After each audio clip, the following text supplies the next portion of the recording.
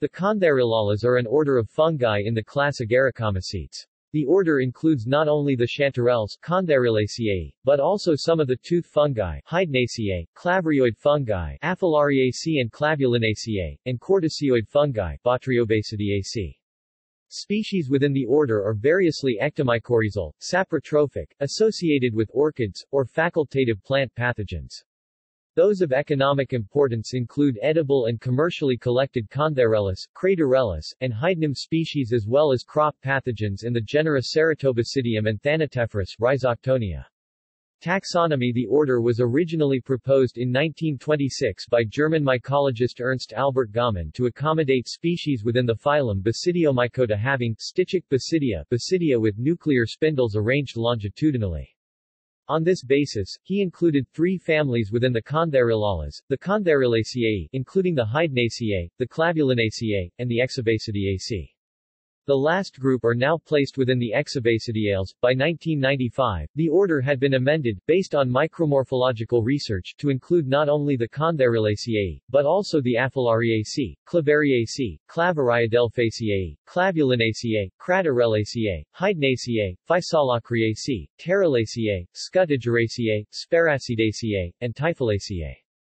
Current status molecular research, based on cladistic analysis of DNA sequences, has redefined the Cantharellales as well as the Cantharellaceae, chanterelles and their allies, inclusive of the Craterellaceae. The order currently comprises fungi with morphologically diverse sporocarps fruit bodies within the Aphelariaceae, clavarioid fungi, Botryobasidiaceae, corticioid fungi, Ceratobasidiaceae, Heterobasidiomycetes, Clavulinaceae clavarioid fungi, Hydnaceae tooth fungi, and Tulasnellaceae heterobasidiomycetes.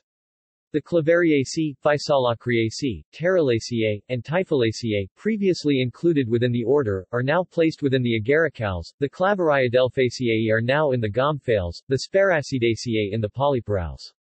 The Scutigeraceae have been replaced by the Albatrellaceae within the Russulales. According to a 2008 estimate, the order contains seven families, 38 genera, and 544 species.